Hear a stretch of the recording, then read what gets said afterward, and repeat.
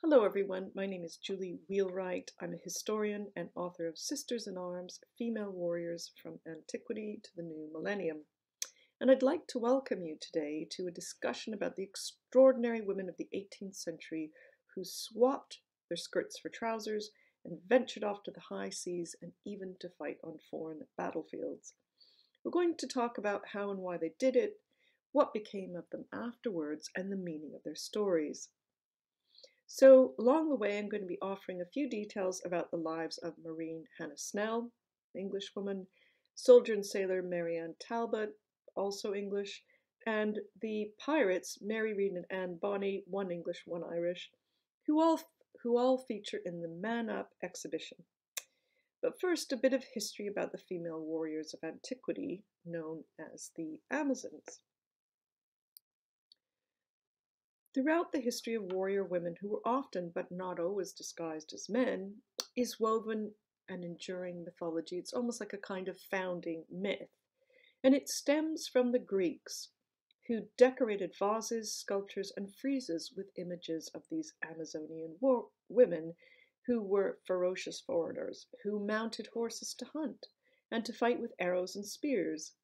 In the slide we can see here, is an image from a vase dating from 470 BC with one such Amazonian warrior, and you can see her hair is tied back, but she's wearing trousers and she's carrying a shield. Despite the trousers and the shields, however, these women were often depicted as glamorous goddesses who, though usually defeated in battle by the superior, of course, male gods, displayed an unfeminine courage and skill.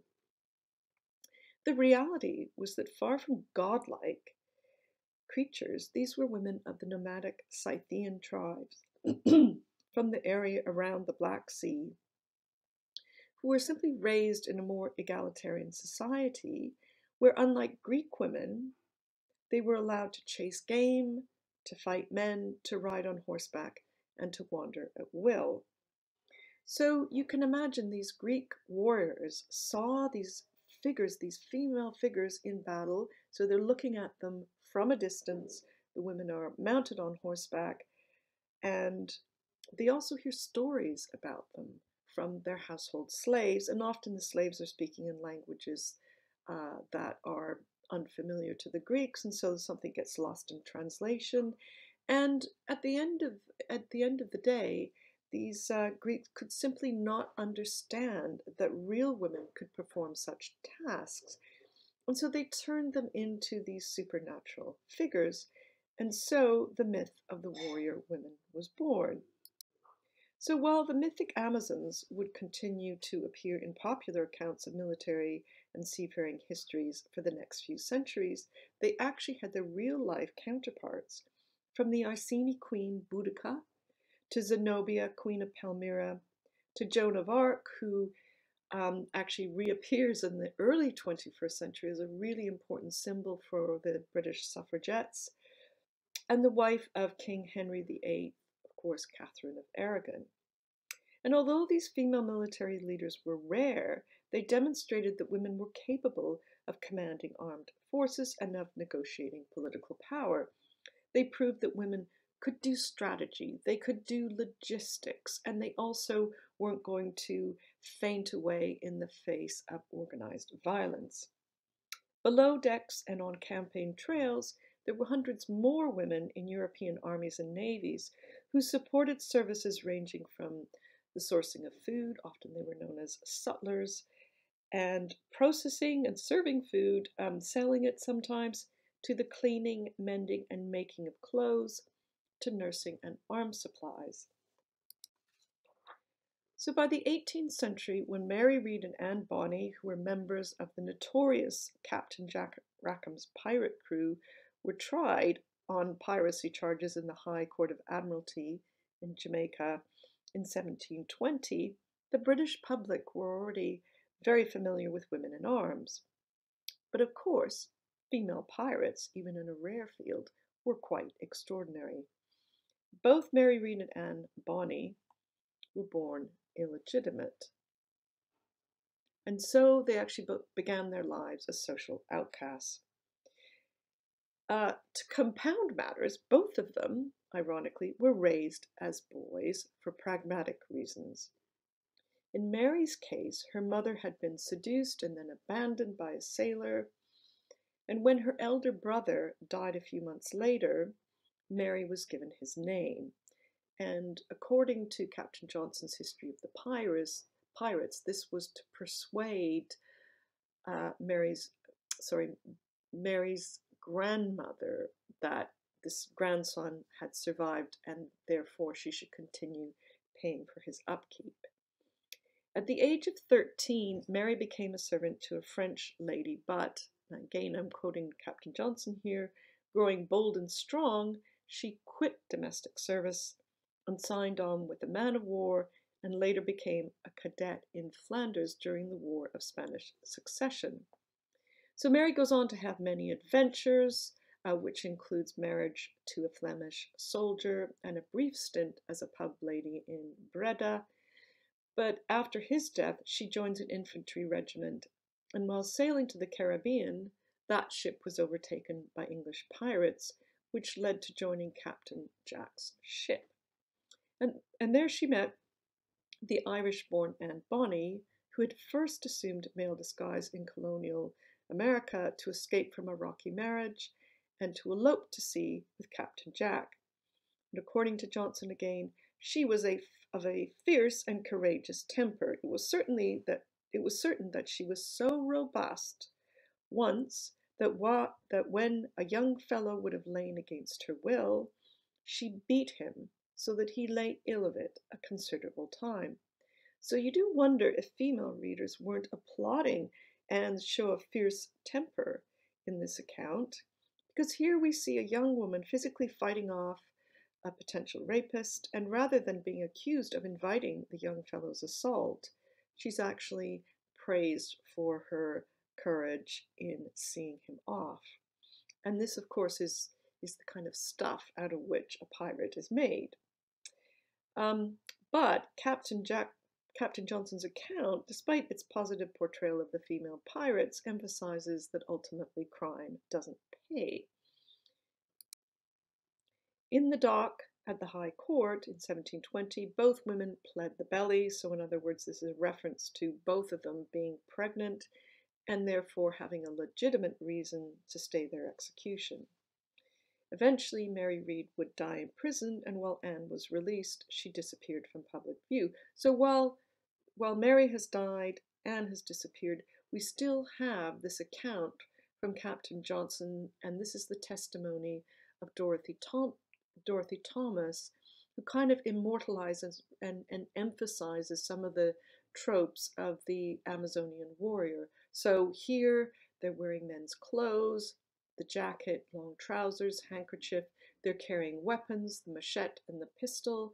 And also there's this kind of murderous, violent attitude that comes out here, um, which really sets them apart from other women. So, if swashbuckling pirate heroines were a rarity throughout the later 18th century, tales of other female warriors grew in numbers and in popularity. They were featured in many, many ballads, in stage plays, and in chapbooks, and in newspaper accounts. Among the most famous, of course, was Hannah Snell, who's featured here in her tri cornered hat and a frock coat on the cover of the Gentleman's Magazine of July 1750. And this was the summer that she became the first British warrior heroine to bring her life on stage, performing at New Sadler's Wells Theatre in London, where she sang ditties and led a group of female Marines in a series of regimental marches. One tribute with its saucy overtones reveals how her story was turned into an anecdote which plays on the public's amusement that Hannah could so skillfully disguise herself amongst a naval crew. And one of the things about these stories that I'm always asked is how did they get away with it?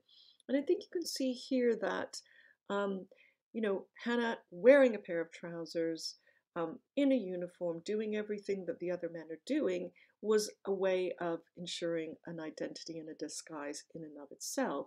A lot of the women also describe things like using um, uh, one very famous uh, contemporary example, Christian Davies, um, used what she called a silver painted over urinary instrument, which was actually like a kind of um, Shewee um, that she would use and was actually made for men who were suffering from venereal disease to help her urinate. Other women just very careful about their behavior, about when and where they uh, would urinate or move their bowels in the morning, when and where and how they washed. And of course, people were washing less often. And as far as we see here in this quote, the reference to the bedmate, well, people did a lot of bed, bed sharing in the 18th century.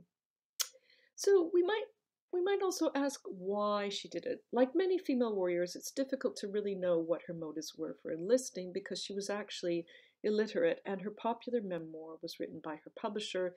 And when you read a lot of these accounts, you can see that they are sort of literary tropes that, that get employed, the same kind of themes come up in these stories.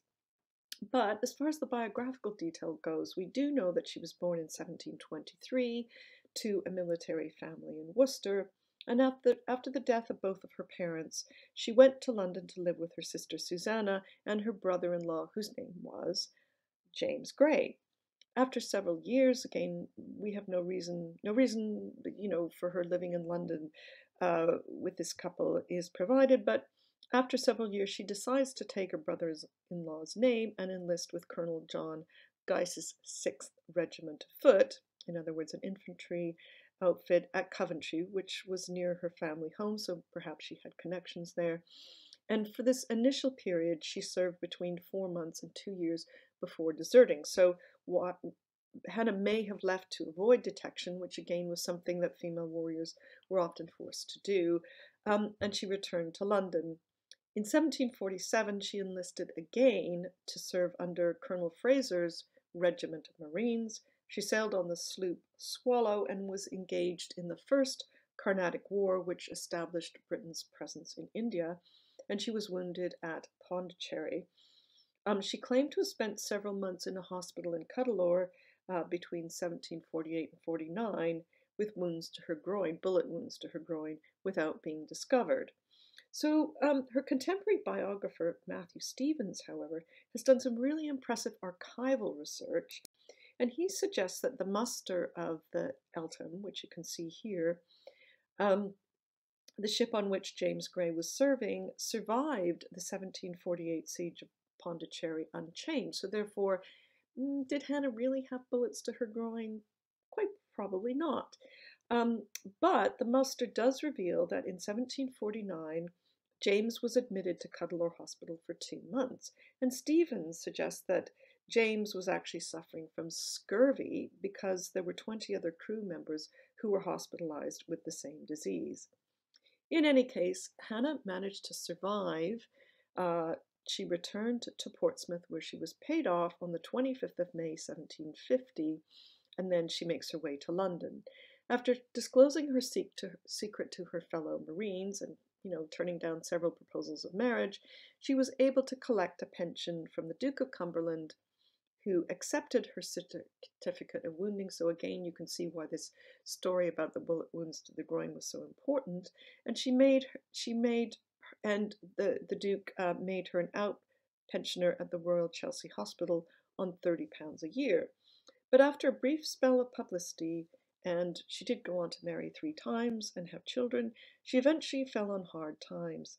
Rather than living out a comfortable old age, she ended her careworn life, probably suffering either from mental illness or dementia, and died in 1792 at Bethlem Hospital, also known as Bedlam, the age of 69. So, although poor Hannah had been largely forgotten, her story was immortalized through her biographers, and it proved hugely influential to later generations of female warriors, one of whom was the mysterious Mary Anne Talbot, whose story first appeared in a Times newspaper report of 1799.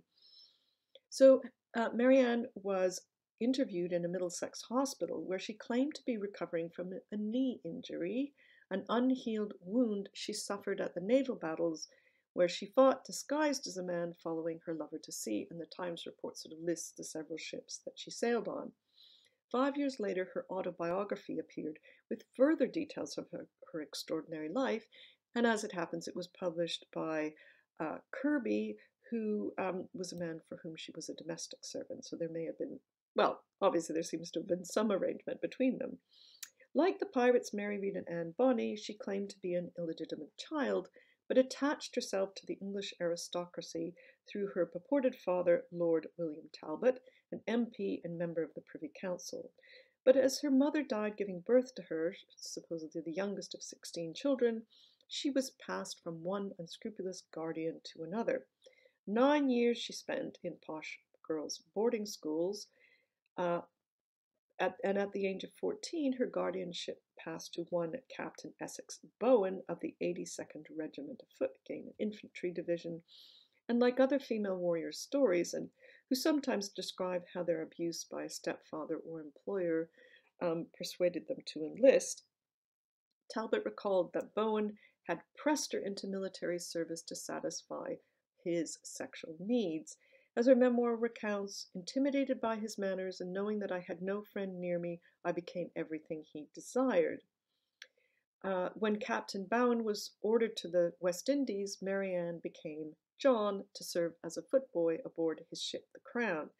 But here, Talbot's memoir diverges from the recorded history, and according to naval historian Suzanne Stark, there is no officer by the name of Essex Bowen in the Army list of 1791 to 96. The 82nd Regiment did not exist in 1792 and was not sent to the West Indies until three years later, again, three years after Talbot claimed to have gone there, and the Crown transport in which Captain Bowen and Talbot were supposed to have sailed in 1791 was then en route back to England from India. So these are only a few discrepancies in Talbot's memoir, but it actually casts a great deal of doubt on its authenticity. But while we may sort of wonder whether Mary Anne Talbot's account is actually uh, a legitimate one, um, there were certainly dozens of women serving aboard um, ships in the 18th century. And one of the best documented cases, and I would really recommend you look at the wonderful reprint of um, The Female Shipwright by Mary Lacy, um, is an account of a, a Kent domestic servant who spent eight years aboard naval ships as an apprentice disguised as William Chandler. And although she successfully maintained her disguise until exposed in 1771, uh, after which she became a master builder in London, she actually describes an account with an encounter with another woman aboard ship who was the lover of her messmate John Grant and with whom she became very close. As she says, the young woman and I were very intimate, and as she was exceedingly fond of me, we used to play together like young children. Our messmates believed we, we were too familiar together, but neither of us regarded their surmises, and if they said anything to her, she told them that if anything like like what they suspected had passed between us, the same should be practiced in the future. In fact, John Grant became so jealous of William Chandler that um, he actually assaulted him for flirting with his girlfriend. And this, of course, may have been another motive for a woman to disguise herself as a man, to enjoy sexual relationships with women, as William Chandler certainly did. And in fact, Lacy's memoir is full of domestic encounters with domestic servants who attempt to seduce the apprentice shipwright, and he recounts many encounters with many loving girlfriends. So while the Chawton House exhibition focuses on the glorious tradition of female warriors, and here we see a couple of examples of female tars, um, illustrations from uh, chapbooks. Um, we also know that there are fictional counter there are also fictional accounts um, from the 18th century and these stories really lived on not only into the 19th century, where we had a proliferation of female soldiers and sailors during the Napoleonic conflicts. Um, there were an estimated 400 women um, who fought during the American Civil War, and they were even there are even celebrated cases of disguised women, and actually um, undisguised many many undisguised uh, women soldiers from the First World War.